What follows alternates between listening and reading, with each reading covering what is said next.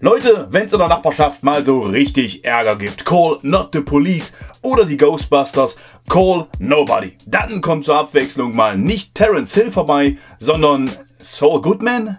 Und damit herzlich willkommen zu einer weiteren Review auf diesem Kanal. Heute zur Abwechslung mal wieder zu einem guten Film.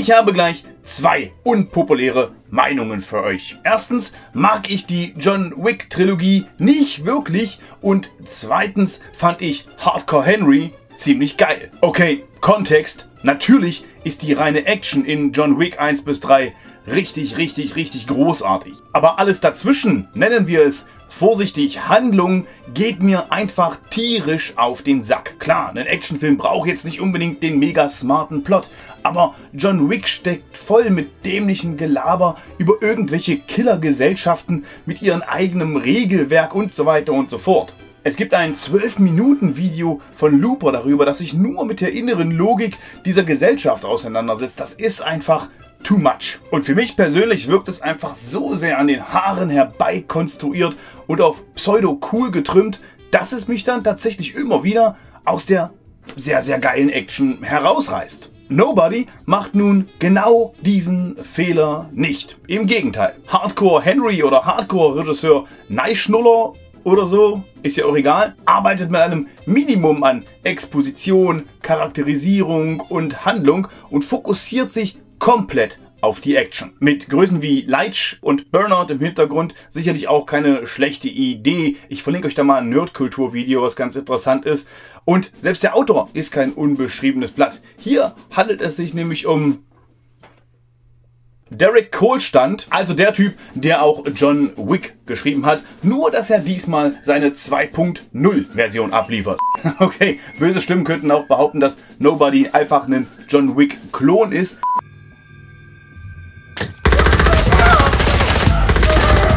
Aber es ist halt genau der John Wick, den ich immer sehen wollte. Borstig, stumpf, brutal und blutig, wie ein Faustfick mit einer Bisamratte.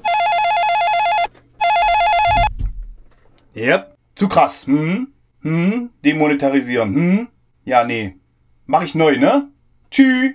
Böse, stumpf, brutal und blutig mit 90 Minuten pointiert und auf das Wesentliche fokussiert, ein Actionfest vom Feinsten, bei dem man den Stuntleuten offensichtlich mehr als zwei Stunden Zeit gegeben hat, die Sequenzen durchzuplanen und durchzuführen. Und natürlich übernimmt auch Saul Goodman einen großen Teil der eigenen Akrobatik, eben ganz nach dem großen Vorbild Keanu Reeves. Obwohl eigentlich gefällt mir Hodenkirks Arbeit sogar ein bisschen besser, da er ganz im Sinne eines Indiana Jones auch mal in die Defensive gerät und ganz schön kassieren muss, bevor er sich dann natürlich wieder zurückkämpfen darf, um dem Gegner den Bart in Brand zu kloppen. Dadurch wirken die Prügeleien weniger poliert und glaubwürdiger als noch in John Wick, bei dem ich einfach immer das Gefühl habe, dass ihm seine Moves viel zu leicht gelingen. Stuckman hat das in seiner Review, glaube ich, auch gesagt. Er wirkt ja fast gelangweilt darüber, wie einfach es ist, sich durch die Gegnerhorden zu ballern. Und ach ja, bevor ich es hier vergesse, geballert und gedrived wird natürlich auch,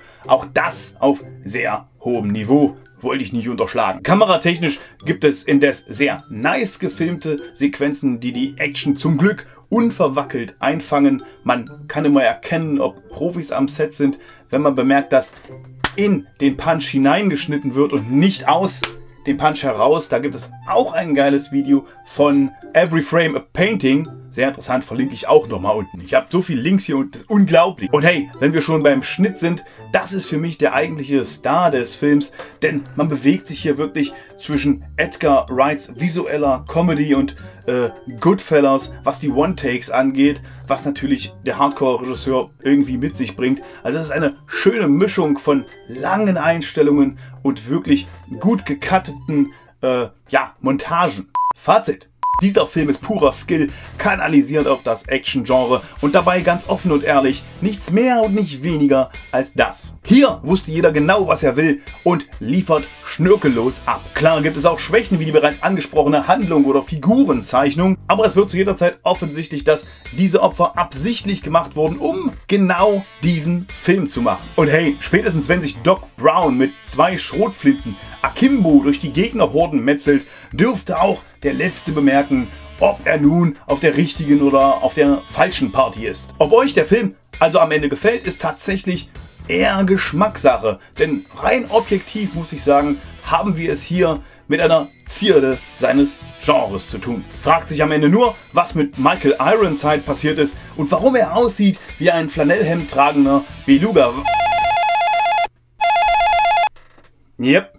Hm. Dicken Witze. Hm, lassen. Ja. Kommt nicht gut. Ich wollte eigentlich zu die Dinos. Nein. Hm. Kennt keiner mehr. Ja. Ja. Ja. Tschüss.